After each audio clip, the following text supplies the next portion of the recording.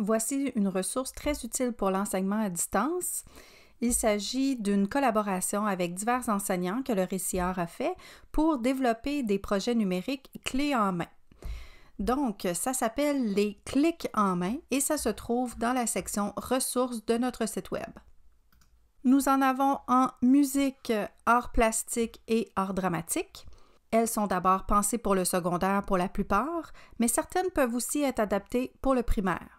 Quand vous cliquez sur le projet, vous trouverez un guide de l'enseignant qui résume la proposition de création avec les matériaux nécessaires, les outils numériques qui seront utilisés, les repères, compétences, etc. qui sont ciblés. Vous trouverez aussi le déroulement de l'activité, donc avec la phase de préparation, réalisation et intégration, ainsi que d'autres ressources telles que des grilles d'évaluation. Il y a toujours aussi un diaporama de présentation qui est déjà tout complété pour vous. Vous le trouverez en différents formats, que vous soyez en version Classroom, c'est-à-dire une présentation Google Slides, ou en Microsoft, donc une présentation en PowerPoint, ou même en version PDF tout simplement. Étant donné que le diaporama est entièrement complété, vous pouvez le présenter tel quel à vos élèves. Il contient toutes les informations et les ressources nécessaires pour que vos élèves comprennent bien le projet qui est à réaliser ainsi que les notions qui sont ciblées. Selon le projet, vous allez avoir d'autres ressources telles que des canevas que les élèves peuvent remplir ou des carnets de traces